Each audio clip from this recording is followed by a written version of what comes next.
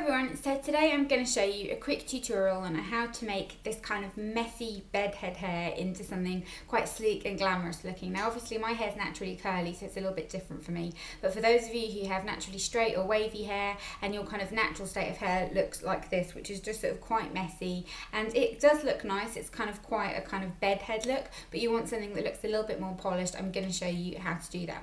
So first of all, I like to start off with a kind of slightly texturizing spray. This is the VO5 Give Me Texture Dry Texturizing Spray. And just give this a really good shake and spray it into the roots of your hair. Now you want to do this from a safe distance because it can leave a little bit of a white cast. Like so. And then on the other side. And then I like to kind of just lift my hair up and do a little bit at the crown as well. So that kind of makes you look a little bit mental for a couple of seconds. And then just kind of work it into the hair and it just helps to kind of add a little bit of volume and add a kind of refreshed look. So now my hair looks like a crazy person's bird's nest.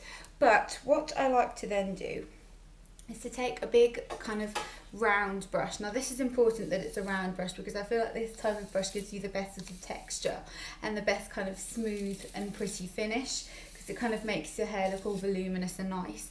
And I like to kind of brush my hair out from underneath first of all. So once your hair is kind of all brushed out, then you want to go ahead and section the top part off. So I just kind of take it from my ear upwards and section that part up with a clip. So now you've just got this part of hair right here. Then I'll take my straighteners. You can use whatever hair straighteners you like. These are the Cloud9 ones. They're my absolute favourite. And I'll take a kind of smallish piece of hair.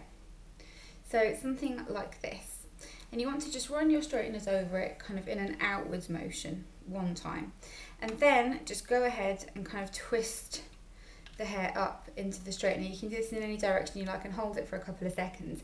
I did apply heat protectant before this video just so you're aware but make sure you do.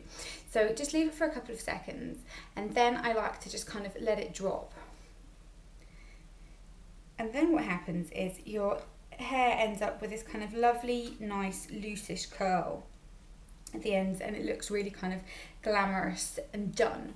So I'll just show you how to do the bottom parts again. Take a section of hair, run your straightener through it if you need to. You might not even need to do this bit because if you've got straight hair already, you probably can skip this step.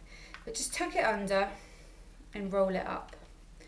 So you're kind of just holding it just there, leave it for just a couple of seconds and you want to just kind of let it drop very gently.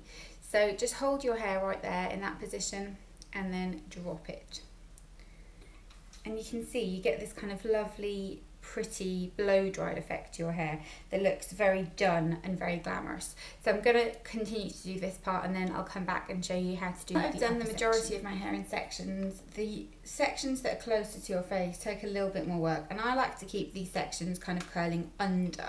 I feel like it just adds a nicer shape. So you do the same method but just curling it under rather than kind of um, curling it outwards like we did with the other sections. So just leave that in for a couple of seconds, like I said. One, two, three, four, five, six, seven, eight is probably enough.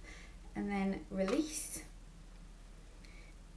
And the kind of nice wave that you've got should look a little something like that. So then the kind of top, top parts, which kind of are the front parts, so the parts that frame your face the most, these are the most important parts, I think.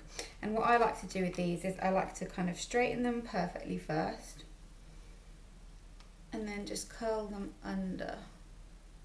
So you kind of get a nice flicked effect. And then I'll kind of run my fingers through my hair, make sure I'm happy with everything. And you can go ahead and kind of just individually curl any of your ends if you want them to just be a little bit more glamorous looking. So just do that and you'll be left with something like this. So I'm going to just go ahead and do the other side and then I'll come back and show you. So as you can see now, you are left with this and you're left with these kind of lovely voluminous curls at the bottom of your hair and just a much more sleek kind of glamorous look than what we had before. So I am just going to add a little bit of hairspray. I'm using the TG Volume Collection, Your Highness Firm Hold Hairspray. Just a generous amount of this onto the curls and onto the crown and then I just like to kind of scrunch the curls a little bit. Don't worry, you're not ruining their shape. You're just kind of making them sit in a little bit better, I feel. And then I like to just kind of zhuzh my crown a little bit just to add a little bit of volume up there because flat hair is something that I always struggle with when I'm wearing it straight. So just zhuzh that up a little bit and then add a little bit more hairspray if you wish onto your nice curls and that's it. That's how I created the very easy my mirror just rolled on the floor. The very easy to follow, pretty kind of glamorous um, look that takes you from a kind of blah hair day to feeling a little bit more glam. So I hope you enjoyed this and I will see you next time.